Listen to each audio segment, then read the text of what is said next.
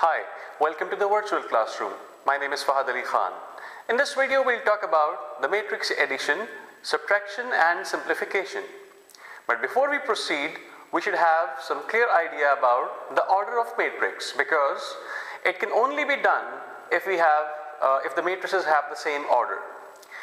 Uh, now this can simply be checked by looking at the number of rows and columns in, in all the matrices. Like for example, if I'm given with a column matrix, we write a matrix like this. I consider 2, 1, the two elements in a row. So I have two rows, the horizontal ones are the rows, the vertical ones are the columns. So I have two rows and one column. So the order becomes 2 by 1 as we consider the order of matrix as row by column. Similarly, if I consider a row matrix, maybe like 2, 1, then I have one row and I have two columns and the order becomes 1 by 2.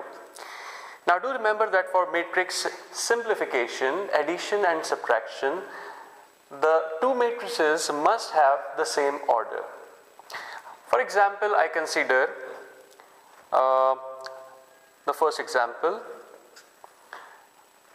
I'm looking to add 1, 2, 0, 1 with um, let's consider minus 1, 0, 2, 3.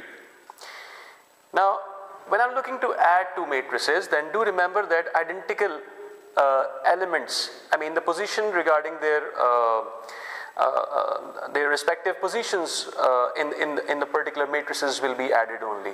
What I mean to say that I'm supposed to be adding this 1 with this negative 1.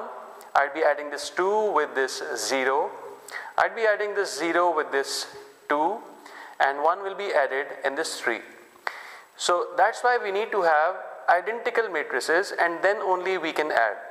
So this becomes 1 add minus 1, this is 1 minus 1, 2 add 0, I'll write 2 add 0 like this, 0 add 2, then 1 add 3 and as a result I get 0, 2, 2, 4. Similarly, if I'm looking to subtract, if I'm looking to subtract, uh, maybe I consider like uh, another two matrices. For example, I've got uh, 2, 3, 5 and 1 and I'm subtracting another matrix uh, of same order minus 1, 0, 2, minus 1. Then we'll do the subtraction the very same way.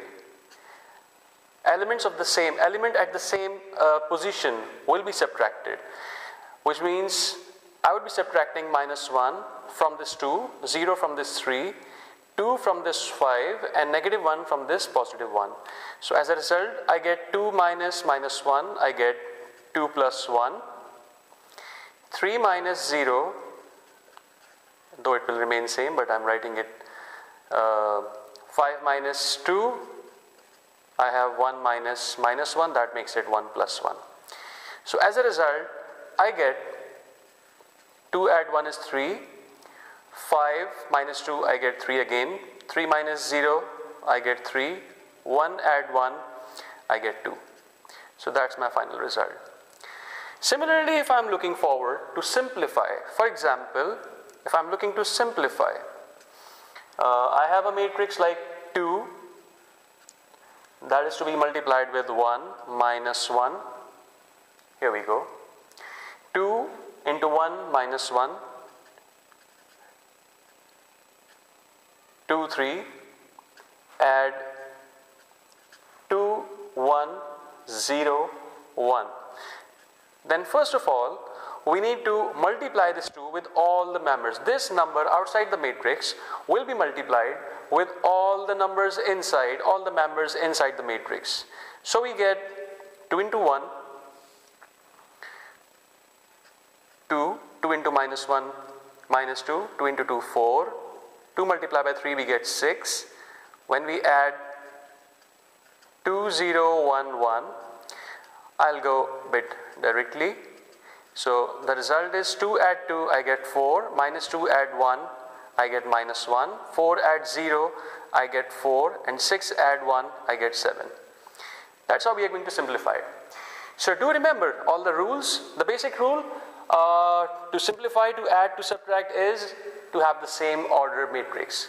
Then only we can simplify, we can add and we can subtract. Thanks for watching. Keep watching my video and do share. Bye bye.